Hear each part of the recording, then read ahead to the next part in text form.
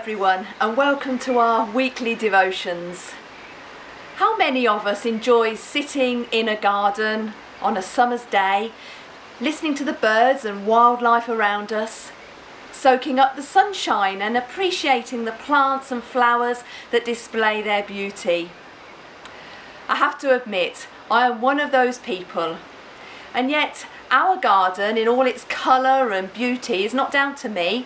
I'm not the one who does all the hard work. I leave that to Jamie, who enjoys gardening. But over these last few months, I have donned on the gardening gloves, picked up a spade, and helped by pulling up a few weeds. Jamie has had to give me some guidance though on what are weeds and what are plants, and I think I've done okay.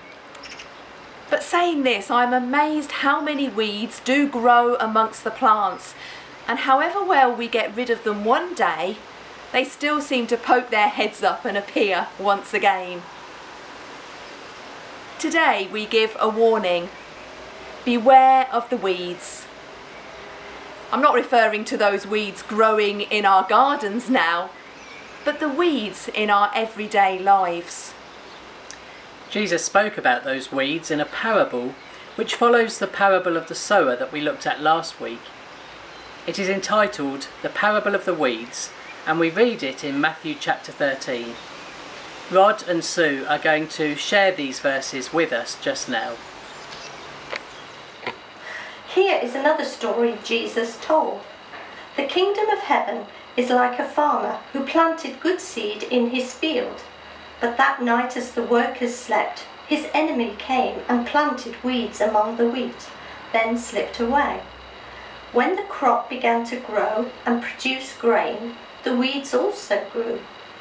The farmer's workers went to him and said, Sir, the field where you planted the good seed is full of weeds.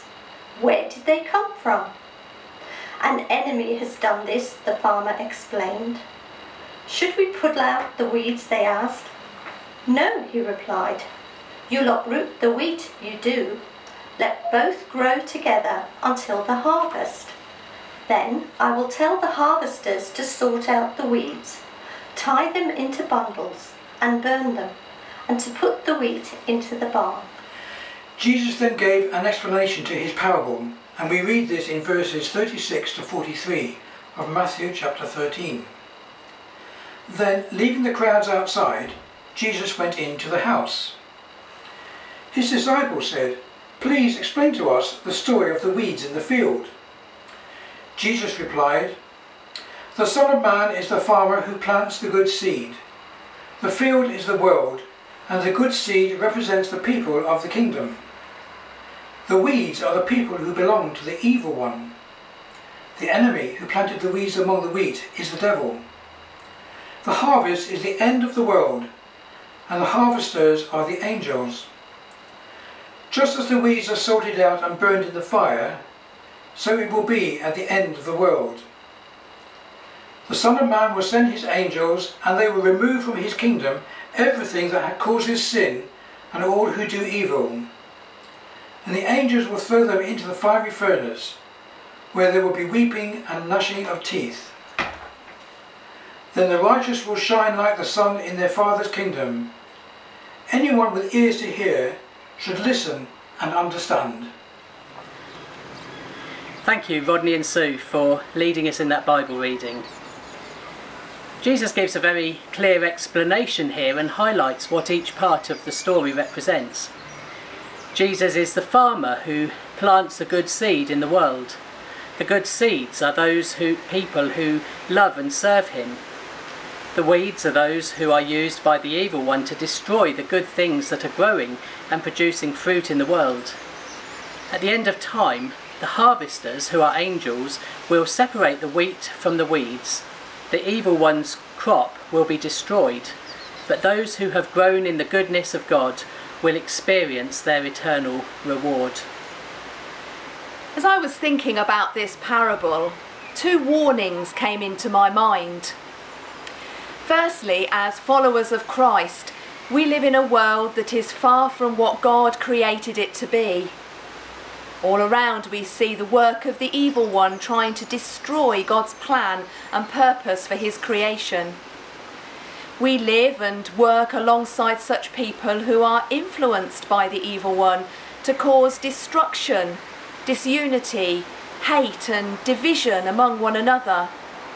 And sometimes we feel like we are in the centre of a, a, spiritual battle between what is right and what is wrong.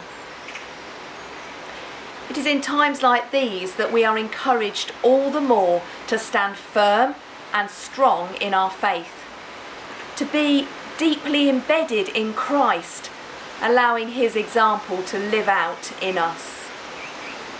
Jesus faced opposition many times, and this led to his painful and humiliating death on the cross. And yet he boldly stood by his Father's will. I have come, he said, that you may have life and have it to the full. There were many weeds growing up around Jesus, trying to destroy what he had been sent to do. But Jesus claimed the victory in the end by rising from the dead and offering the fullness of life to all who believe. The warning in Hebrews chapter 10 can help us if we are faced with such challenges. This is what we read in verses 32, 35, and 36.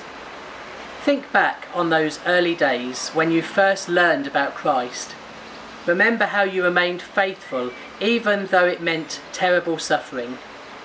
Do not throw away this confident trust in the Lord. Remember the great reward it brings you. Patient endurance is what you need now, so that you will continue to do God's will. Then you will receive all that He has promised.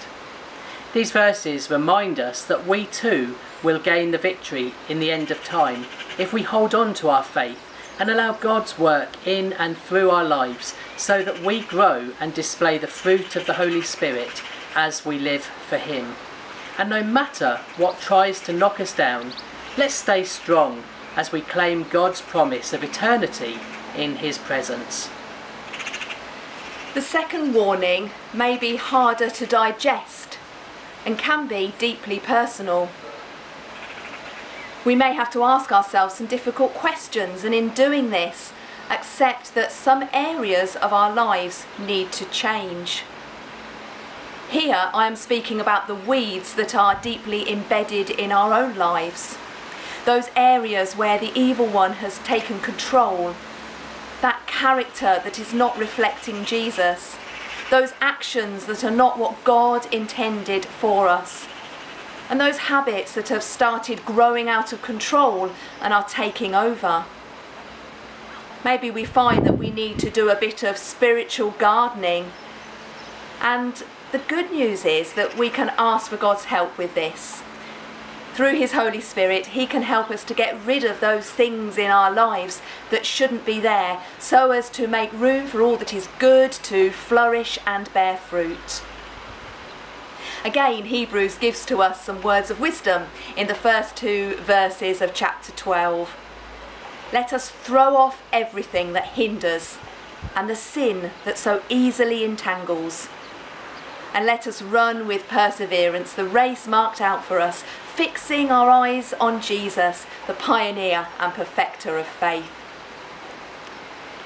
May we have the courage to do exactly that as we allow God through His Holy Spirit to dig out all that is not of Christ in our lives so that we can flourish and grow and be more and more like Jesus, harvesting from us all that is good and fruitful.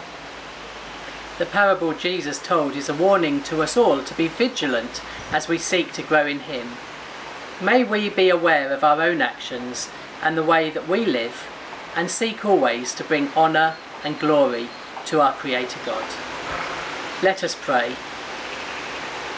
Lord, we thank you for your word and the way in which you can teach us so much through it. Help us to stay strong in you despite whatever the evil one uses to knock us down. May we cling to the sure and certain hope of your promised eternal presence. Please forgive us for those times when we have allowed the weeds to grow instead of the wheat. Help us to see the difference and not be afraid to prune back all that is preventing us living a spirit filled life in you. May we live to please and honour you, fixing our eyes on your perfect example so as to reflect your likeness in all that we do, in all that we say, and in all that we are.